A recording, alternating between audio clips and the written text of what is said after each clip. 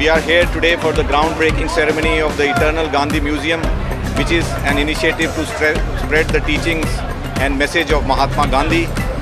India and United States as two vibrant democracies having open multicultural societies and shared values, commonalities in culture are natural partners.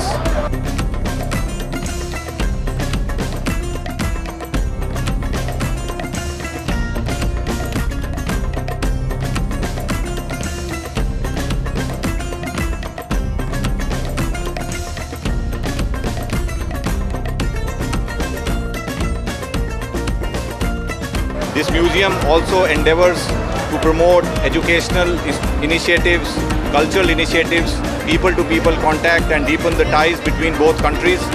I wish them all success and I'm confident that this will further strengthen the relations between the city of Houston, India and United States and spread the message and teachings of Mahatma Gandhi which are highly relevant in today's world globally and across to everyone.